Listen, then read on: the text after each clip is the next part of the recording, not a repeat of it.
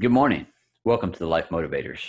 We are the entrepreneurs that come here on a day to day basis to bring energy, to bring our love, to bring our elevations of frequencies to that higher level. Every day, as we are living life, most of us have experienced from going from warm temperatures to cool temperatures. As the seasons are changing, so are we. We're evolving beings on this planet on a day to day basis.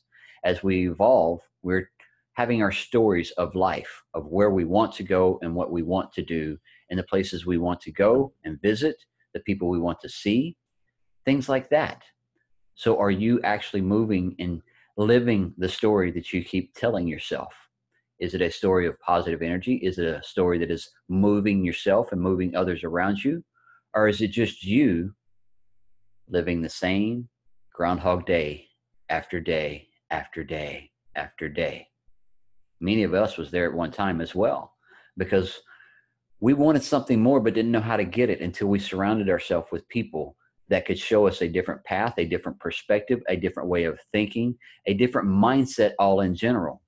And as we started thinking and understanding that we have a bigger power within us a power so strong that we can harness and move ourselves to that story that we truly want to live. Many of us work a job and that's the only thing we're going to work I talked to a guy yesterday and I said, When are you looking to retire in life? Well, I'm 52 now, probably about 71. And I said, You haven't planned out a better dream or a better story that you want for your life to be able to have everything in place, all the financials, no worries, no stress, and to be able to live the life that you truly want? And he's like, Well, not really. And then that's when we started talking about stories. As Miss Jen had told us just a minute ago, your stories are what matter because you are the one that are making them. You're the one that can design them. You're the one that can create the story that you want to live to go and visit and do the things that you want to do on a day-to-day basis. Once you get yourself into a better balance of life of not just working working working oh until i die. We don't have to have that kind of mindset anymore we can actually go out there and enjoy our life while we're living and having fun and loving the things that we're doing on a day to day basis because that's the energy that we want to put out there. With the energy started with a thought. That thought right there produced more energy within you to put out more vibrations to the universe to say, I would like more of this within my life. And then look, it's going to start coming because you are looking and believing within you so wholeheartedly that the energy that you're putting to it is what's going to make it happen. Because if we don't think it first, it shall never happen. But once we learned how to put the power of this little tool right here that you can buy at any dollar store, bunches of them at a time, with the power of this pen right here, we've been able to write new stories and create new journeys for ourselves on the places that we want to go and the things that we want to experience within life. And if I wouldn't learned how to truly journal and write it all down and then surround myself with people who inspire me to keep going because the crazy ideas that I was having downloaded that I was writing on the paper is like, man, that could never happen. Those words that I was telling myself, it could never happen. You're right. It was never going to happen until I changed those words. Of those words saying, this is going to be an awesome journey that I'm going to get to take one day this is going to be an awesome adventure that I get to experience with all these people right here one day as we're traveling around the country doing more speakings and being able to introduce this to more people on having how to have a better life to be able to build businesses or to take existing businesses and move them to another level was something that I never thought that I was going to be doing. I thought I was going to work till I was retired, just like that man yesterday. But I learned that I could retire at a younger age and I would be able to live my life and travel and go and do and hang out at the beach for a week if I wanted or a month at a time. To be able to spend the time with my loved ones that I wasn't able to do before.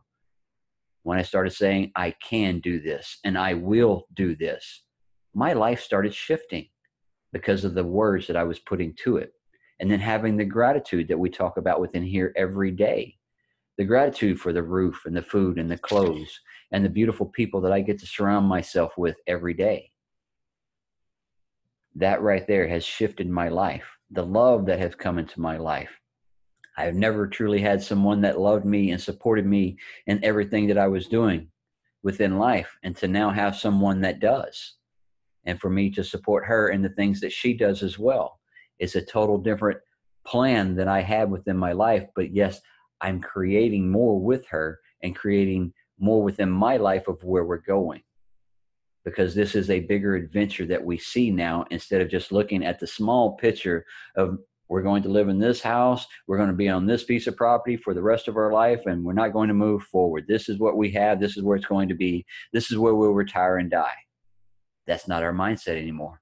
We know we have adventures in us. We know that we're still young enough to go and do and have fun and be able to meet people across the world and shift their lives as well how could we shift other people's lives by the words that we speak by the communication and the connections of just a good handshake and saying hello as we pass people along the beach or in a hallway or in a grocery store. Just that little shifting of that smile that you have on your face can shift other people's energy from where they were at before. Many of us get up on a day to day basis and not truly plan or write out or have a scheduled set of what you're going to do today most get up and start complaining about life from immediately when they hit their floor because they're complaining about their job, they're complaining about their loved ones, or they're complaining about the lack of. Start shifting your perspective of saying thank you for what you already have. Because as you do that right there, then that will bring so much more back into your life. Having that gratitude of the abundance that you already have, the places that you've already been, you are the one that has created that with the thought processes. And you're like, I created my life with my thoughts? Yes. Every place, everything, everything that you're doing is all started within our thought processes. So get out each day, wake up with an alignment first.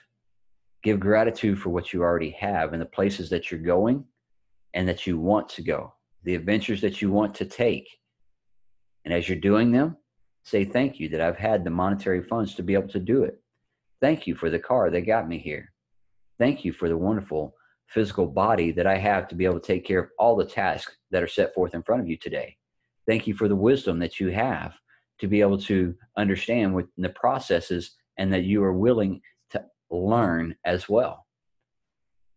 My son is 24, fixing to be 25 years of age. And every day he was asking me, Daddy, did you learn anything today? Yes, I will learn until I die. Every day I will wake up and learn something new because the people that I get to surround myself with are the new people that I get to meet. I am listening to what they're saying. I'm listening to the conversations and their stories. And I'm learning from those experiences as well.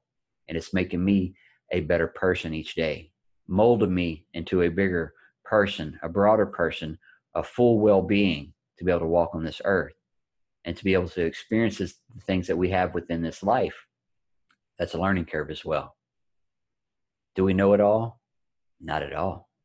But are we learning? Yes. Our thought processes, our words that we are speaking, we are creating more every day. Did you think that that cell phone that you're using this morning was just popped up at Walmart one day and said, Hey, it's here. Come buy it. It all started with one idea one idea that most people thought he was crazy. Facebook, people use that. Seven billion people on this planet, and they probably have four billion people connected every morning. And with those connections right there, was it all thoughted? With one idea. And those people that he offered it to, those three different buddies that he offered it to, they all thought he was crazy. Look where it's at now. So just know that the ideas that you have within your head, they're not crazy. Write them down. Keep going for them. Keep moving yourself in the direction to make them happen because you will connect with the right people that will connect you to the other people that need to make things fall right in alignment. And it is so much fun to have that happen. We've been reading the book, The Magic by Rhonda Bryant. Today we're on chapter 10. And Miss Kristal will be reading chapter 10 for us today. So if you don't have your hard copy in Life Motivators, there is a PDF that you will be able to download it from there and read it. or you can get with one of us and maybe go to Amazon and be able to purchase it as well. So, mm, bookstores, Books a Million here in the States and within the other countries, I'm sure you have bookstores as well. You can go and grab it. So, we're going to pass this one on to Miss Kristal to keep us flowing. Go ahead, Miss Kristal.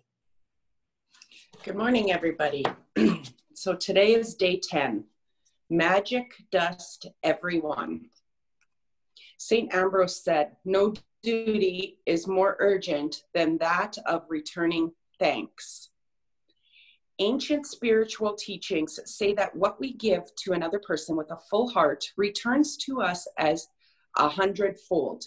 So, being grateful and saying thank you to another person for anything you receive from them is not only urgent, it's vital to improving your life. Gratitude is a powerful energy. And so, whomever you direct gratitude's energy towards, that's where it goes. If you think of gratitude's energy looking like sparkling magic dust, then when you express gratitude to another person in return for something you've received from them, you are literally sprinkling them with that magic dust. The powerful, positive energy in magic dust reaches and affects whomever you sprinkle it on. Most of us make contact with many people every day, whether on the phone, through email, or face to face at work, in stores, restaurants, elevators, buses, or trains. And in many cases, the people we make contact with deserve our gratitude because we are receiving something from them. Think about the people you encounter on a typical day who provide you with some kind of service, like those working in stores or restaurants, bus or cab drivers, customer service people, cleaners, or the staff at your work. The people who work in service are giving themselves to serve you, and you're receiving their service.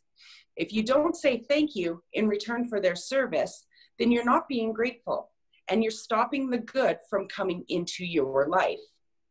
Think about the maintenance workers who keep our transport systems working safely and those who maintain the service of utilities such as electricity, gas, water, and our roads.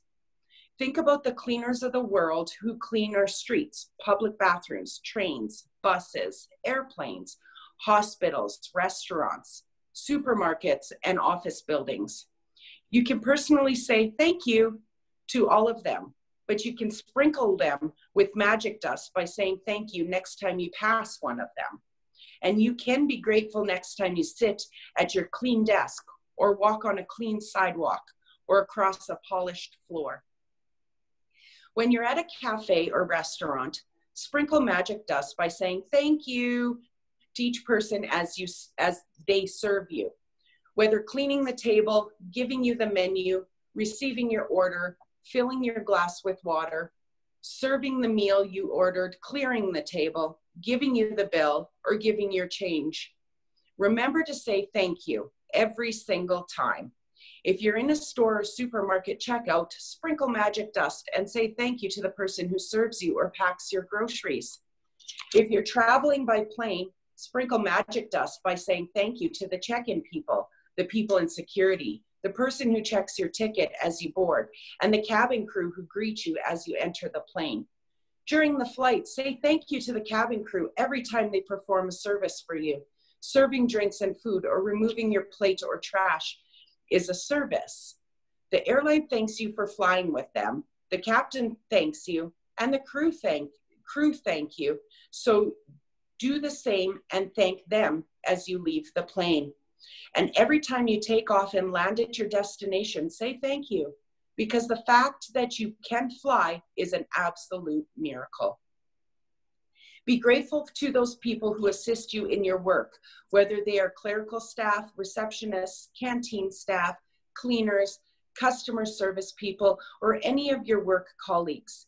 Magic dust them with all with thank you. All of them are doing you a service and they deserve your continued gratitude in return. Store assistants, waiters, and waitresses work very hard to serve people. They have chosen a job to serve other people, and serving the public means encountering all kinds of people in varying moods, including those who are ungrateful. Next time you're being served by another person, remember that the person who is serving you is a precious daughter or son to parents, an irreplaceable brother or sister to siblings, a mother or father to a family and children, and a loved and adored partner or friend, and they deserve your kindness and patience. At times, you may encounter a person in service who behaves rudely towards you or doesn't give you the attention you think you deserve. It may be more challenging to be grateful in these situations, but your gratitude cannot be dependent on another person's behavior. Choose to be grateful no matter what. Choose magic in your life no matter what. It might help you to remember that you don't know what difficulty someone might be going through at the time you connect with him or her. They may be feeling unwell. They may have just lost a loved one. Their marriage might have just ended, or they may be in dep- desperation at a tipping point in their life. Your gratitude and kindness might be the most magical thing that happens to them that day. Be kind, for everyone you meet is fighting a hard battle. If you thank someone on the phone for his or her help, don't throw away your thank you. Instead, give the reason why you're grateful. For example, thank you for your help. Thank you for going out of your way for me. Thank you for giving me so much of your time. Thank you for resolving the situation for me. I'm very grateful to you. You will be amazed at the response from the other person when you do this one simple thing because they will feel your, your sincerity. When you say thank you to someone in person, look at his or her face. They will not feel your gratitude or receive your magic dust unless you look directly at them. You've wasted an opportunity to help that person and to change your own life if you say thank you to the air or say thank you as you're looking down or thank you while you're on your cell phone because you're not really sincere when you do that. A couple of years ago, I was in a store buying a gift for my sister. The store assistant who served me listened to what I was looking for and then went on to search for the perfect gift as though it was for her sister. As the store assistant handed me the bag containing the perfect, beautifully wrapped gift, I received a call on my cell phone. I was finishing the call when I reached the front entrance of the store, and suddenly an unsettled feeling swept over me. I immediately returned to the store assistant who had helped me, and I not only thanked her, but I told her all the reasons why I was grateful to her and how much I appreciated everything she did for me. I showered her with gratitude's magic dust. Her eyes filled with tears, and the biggest smile you've ever seen swept across her face. Every action always has an equal reaction. If you really mean it when you say thank you, the other person will feel it. And you will not only have made another person feel really good, but your gratitude will fill you with an undescribable happiness. That day, I walked out of the store undescribably happy. I don't use magic dust only for the people who serve. I use gratitude's magic dust in all kinds of situations. When I say goodbye to my daughter before she drives to her home, I feel gratitude for her having arrived home safely, and I wave my fingers in the air and imagine sprinkling dust over her and her car. Sometimes I sprinkle magic dust on my computer before I begin a new project, or sprinkle magic dust ahead of me before I walk into a store to look for something in particular that I need. My daughter uses magic dust when she's driving. And if she sees another driver who seems to be stressed and is speeding, she sprinkles magic dust over them to help make them feel better and keep them safe. Today, take gratitude's magic dust with you for the people who work in service and look for every opportunity you can to sprinkle magic dust on everyone by saying thank you. Thank at least 10 people who perform different services you benefit from today. It doesn't matter if you don't get the opportunity to do it in person, you can mentally acknowledge the people whose service you benefit from. The magic dust will still reach them, As an example, mentally say to yourself, I am really grateful to the cleaners who work through the early hours of the morning, making sure that the streets are cleaned of trash every day. I've never really thought about how grateful I am for that service, which is done like clockwork every day. Thank you. Make sure you keep count of the people in service you are grateful for so that you know when you have thanked 10 different people for their service and sprinkled magic dust on them. If you imagine the sparkling magic dust falling over people when you thank them, you have a picture of what really happens in the invisible with the power of gratitude. With this picture in your mind, it will help you to believe and know that the magic dust of gratitude really does reach people and it will be available to help them to improve their lives. And every time you sprinkle magic dust over another person, it also returns to you in your own life. If you're at home today, then sit down with a pen and journal or on your computer and go back in your mind recalling instances where people in service went out of their way for you. It may have been someone on the phone, or it may have been a trade person who was determined to resolve a problem for you. Maybe you've received a great service from your mail person, the trash collectors or recycling companies, or local store assistants. Make a written list of 10 instances where people in service helped you and send magic dust by saying thank you to every one of them. Magic reminder. Read through tomorrow's practice today because the practice for day 11 begins when you first wake up. So, magic practice number 10 Magic dust everyone. Count your blessings, make a list of 10 blessings, write why you're grateful, reread your list. At the end of each blessing, say thank you, thank you, thank you, and feel as grateful for that blessing as you can. Number two, today sprinkle magic dust on 10 people who perform services you benefit from by thanking them directly or otherwise by mentally acknowledging and thanking them. Feel grateful to them for the service they perform. Number three, just before you go to bed tonight, hold your magic rock in one hand and say the magic words, thank you for the best thing that happened during that day. And number four, read through tomorrow's practice today because the practice for day 11 begins when you first wake up. Thank you very much for that, Kristal. The magic happens when you first wake up. How do you align yourself? How do you get yourself in tune with the way you want your energies and your vibrations to roll today? Your habits are the biggest key. What are you doing when you first wake up? Are you giving gratitude for everything that you truly have within the, the day, within your life? That was powerful reading right there. Thank you, Miss Kristal, once again for the clarity of how people were able to receive that message. Many may not understand it, but what we're talking about right here is something that we all have within. That's your power. Your power to harness everything that you want within your life. Get in alignment with it, and it will move you to a total different direction. Start shifting your habits that haven't been working for you and implement some new habits that may work for you that's what this whole program within here's life motors is motivators has been all about is to inspire you to do something better for yourself today than you did yesterday. Reading a book listening to youtube channels coming to life motivators going to the gym that you keep saying you want to go to starting that different food program that you may want to start.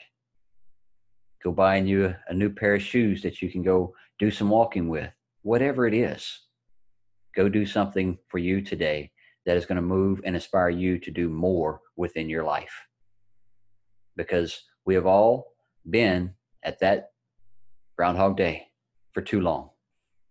So let's move out of the Groundhog Day. He learned every day within inside of that movie right there of what he was not doing and what he could be doing. And what did it turn out? He started doing something for others every day, not just himself. He started giving his love to others throughout the day, saying thank you, opening the doors, helping people with grocery bags. Simple little things right there that didn't truly take anything from him, but yet it brought more back to him in that movie. And then once he actually understood the new habits that he was implementing, he was able to move forward within his life and not live that Groundhog Day anymore. We are the same within here.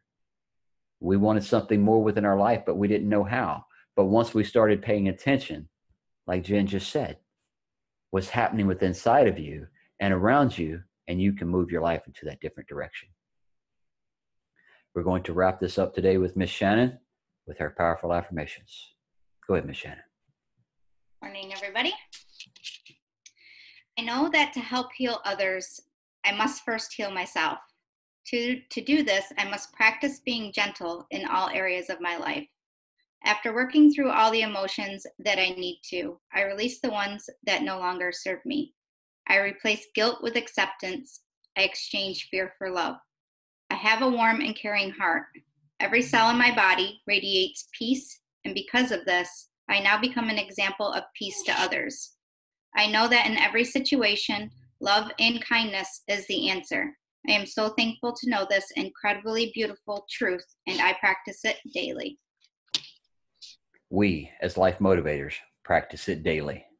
We're inspiring you to be that moving cell of love, happiness, and kindness.